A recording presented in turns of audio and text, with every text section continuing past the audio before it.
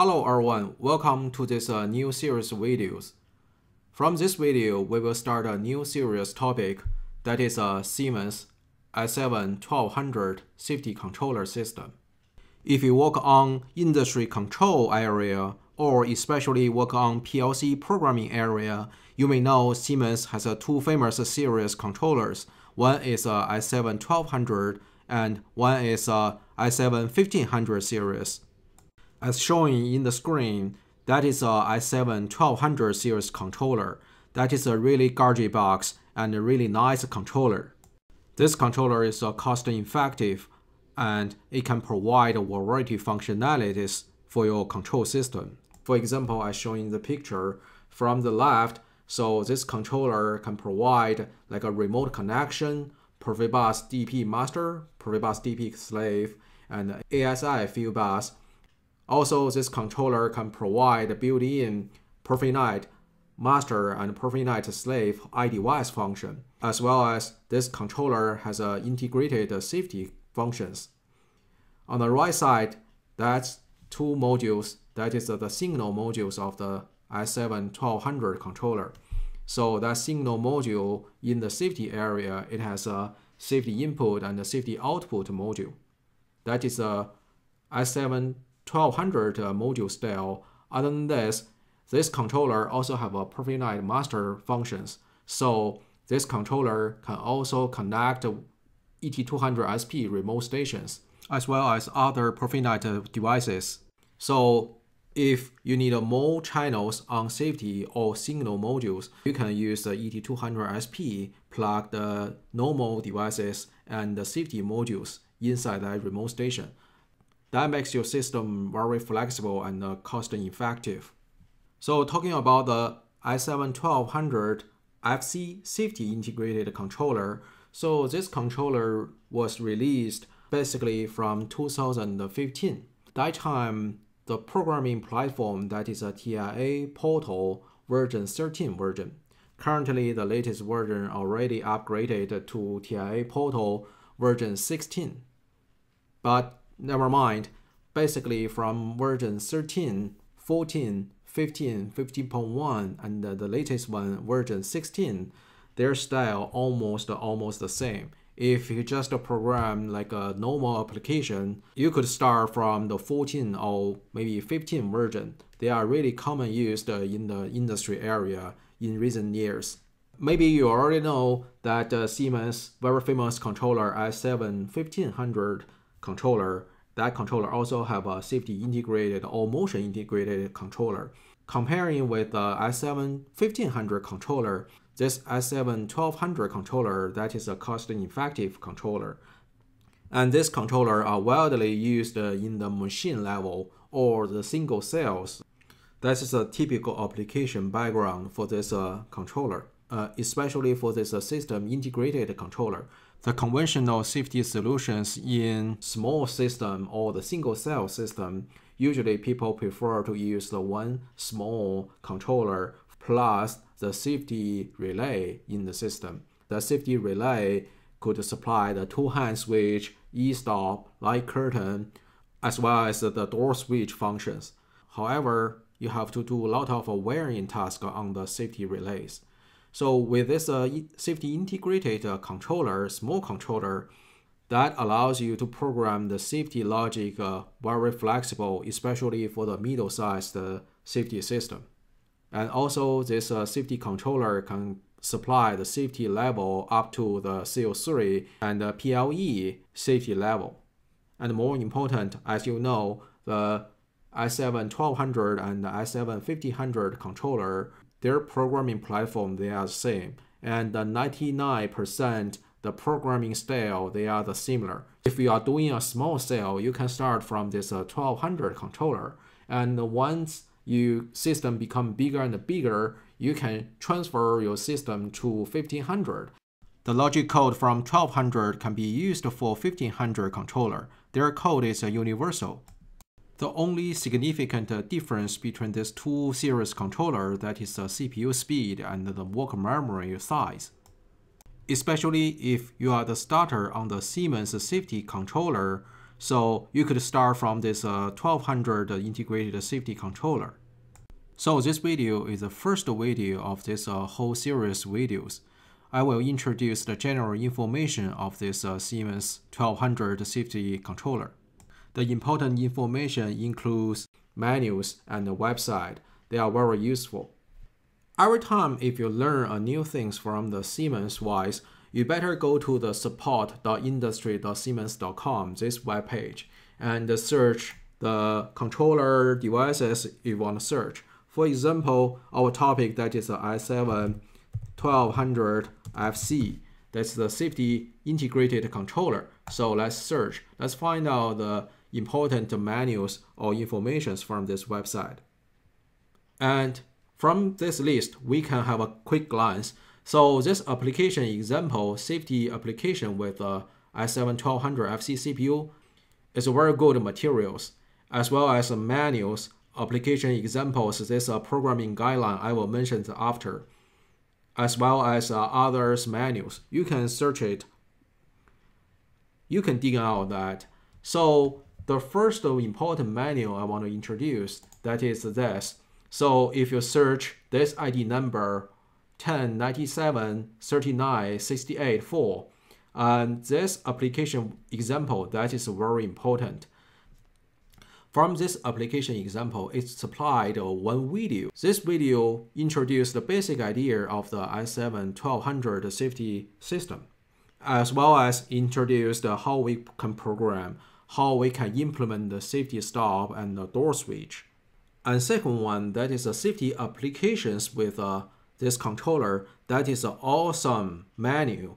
So highly recommend you download this menu as well as this uh, block library. I will use the next video introduce how we can implement, how we can use this block library.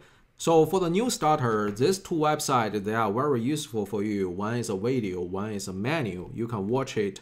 Uh, you can check them one by one, especially for these uh, safety applications with uh, S7 1200.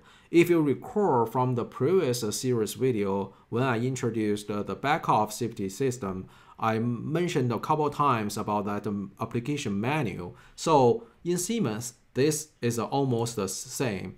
So if you search this application list, you will find out for the different uh, safety level of the e-stop and the safety door. So you can search different wiring diagram as well as the program. So in the program, you need to download that library to see the detail of the library. So that library is totally opened. You can open that function block, look at the detail of the logic. Uh, so that library function blocks are not locked. So you can open the function block and look at the detail. Also, you can, based on your application, you can change the logic by want. I really like this style, so you can clearly see how you can wire in this application based on this uh, safety level. And talking about the safety level, so we already mentioned in the previous videos, that is uh, the, how we can evaluate our safety level. So there's a very important uh, evaluation tool from Siemens. The same website, if you search the SET safety Siemens, you will find out this tool that is uh, the safety evaluation tool. So this tool based on the IEC 62061 and ISO 13849-1, this tool standard you can follow the wizard to check out to evaluate your system safety level. And once you evaluate your system level, for example, in your system, you may have a, the light curtain, you may have a e-stop, as well as a gate switch. So you may need to find out how you can leverage the existing examples or the function blocks in the safety system to implement the safety controls based on your evaluation level, right? So next things, you can go to this website. You can search the 10, 97, 73, 29, 5. Search this example. And you'll find this selection aid for the safety application examples. So you can click this uh, link. You can, based on your application, select the case For example, in our system, we will introduce S7 1200 safety controller. So let's select the S7 1200F CPU. So it will pop up the application examples based on this controller. And you also can find out this uh, safety application with uh, S7 1200FC CPU uh, we just introduced. That is uh, this page introduced how we can deal with the e-stop and the gate switch. So when you search this, you do not need to restrict it by this uh, S7 1200 controller. Actually, uh, you can search uh, by the application base. For example, if we search this uh, uh, light curtain, so the S7 1200F won't be pop up here. However, actually the S7 1500F CPU, this case and this example, that is the same with uh, S7 1200 controller. As I introduced the 1200 and 1500 controller, the program for them, they are the almost the same. So uh, if some applications that 1500 supplied by Siemens, you actually can grab this application or the sample program, copy the program into the 1200 controller area. If you already had a Siemens knowledge or Siemens programming background, there are still two additional manuals it is highly recommended you download and read them. One is the programming guideline programming style guide for the S7 1200 and the 1500. Another one that is this, the safety passivation and the reintegration of the safety IO. Let's talk about this first. In this guideline, you can download those couple manuals from here. For example, this programming guideline safety for the 1200 and 1500.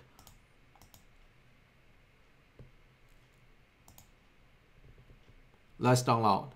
That is the safety programming guideline for the 1200 and the 1500. So this manual just 58 pages. It introduces some principle and the basic idea is how to program a professional logic because some logic, even the functionalities, you can implement the same functions. However, uh, it maybe leave some potential issues in your program. So this manual has introduced some principles how we can program a perfect logic, how to prevent uh, leaving some glitches inside program. So that is uh, the programming guideline safety. Another one that is this, the passivation and the reintegration, the safety IO, is very easy to be ignored or forget. In the safety system, once the safety module detect the channel or the module itself got something wrong or got an error, so the module or that channel will be passivated. Once the channel or that module passivated, we need to acknowledge the error and reintegrate the module or that channel if the channel recovered. So this manual just has a 22 pages. It introduces what is a passivation, what is a reintegration, and how we can program to reintegrate 1500 and 1200 safety controller system. The last but not least, that is the general manual. One is uh, the S7 1200 function safety manual. This manual has a 252 pages, so it introduced uh, how we can get started on this uh, safety system, uh, how we can wire this uh, safety input and safety output modules. That's why I would like to use the, the S7 1200 safety controller as a start point on the Siemens safety area. That's because this controller that is small. All the manuals for this controller just around 200 pages it's easy for you to have a quick glance, have a quick reel how we can start, how we can learn this system.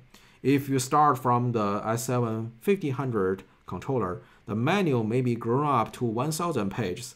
It's a little bit scary. It's a little bit hard for you to start from the scratch. However, for the 1200, it's easy for you to start from the scratch. Alright, that is the S7 1200 functional safety manual. By the way, the Siemens controller, if the controller with a safety integrated function, it will marked with a F or FC. That's because from the safety wheel, that full name is called a functional safety. Uh, another one that is uh, the entire menu, we can use that as a dictionary for the safety wise in the Siemens area. That is uh, the SIMATIC Safety, configuring and programming. This is the entire information and knowledge for the Siemens safety area. So it has uh, the how we can program, how we can do the data exchange, how we can assess the input output, how we can compare, how we can do the safety communication and uh, that is uh, the latest manual from the Step 7 Safety version 16. If you can now find some detailed information from the previous manuals, the best manual you can find for the detailed information, that is this manual. Alright, so this is the general introduction of the S7 1200 system. I will not introduce the two details of this hardware area because you can find a lot of information training materials from the website, especially from the web page we just introduced, if you recall. Especially from this uh, application example, it already introduced uh, the basic idea of the S7 1200 this controller. So in the following videos, I will still use this cell as our application background. However, I will add the light curtain function as well as the gate switch with a guard locking function. As you know, if you read the detail of this uh, application background, it only introduced the e-stop and the gate switch. And the gate switch actually, that is uh, the simple gate switch without the lock built in. So other than this uh, e-stop and the gate switch, I will also introduce the light curtain as well as uh, the this, the gate switch with a guard lock. These gate switches are very widely used in the robot cell. The typical functions on this uh, gate switch, uh, it has uh, the e-stop and the cell enter request button on here, as well as the solenoid control for the gate lock for this door. Usually, it also has uh, the reset button on the bar. So I will introduce the, the basic control ideas on this area, as well as uh, our normal e-stop light curtain and the gate switch. That's all. That is the general introduction of the S7 1200 safety controller. And this is the first video of this whole series video. And see you in next video. Thank you for watching. If you like this video, please give me a thumb up. If you like to watch more videos in my channel, please subscribe. See you in next video.